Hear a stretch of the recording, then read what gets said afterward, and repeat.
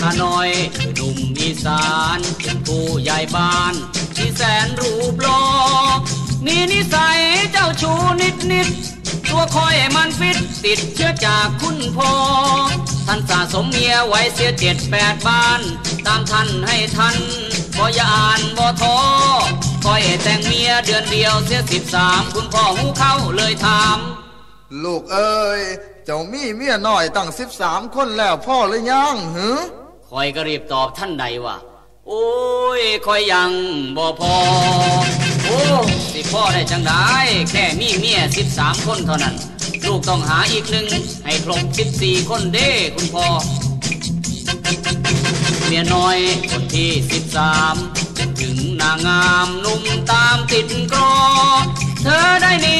มาเป็นเมียน้อย เธอชื่อนางหอยหน้าหอยเข้ามางอ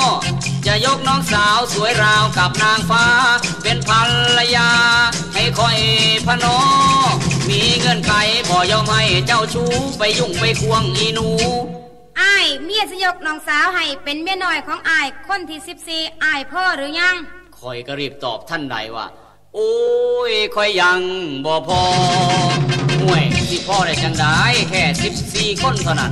เสียสื่อคอยโมดต้องหาเมียอีกคนหนึ่งให้ครบสิบห้าเด้เมียคอยมาอ้อนมาวอนให้เลิกซ้ำซ้อนเลิกใช้ความรอ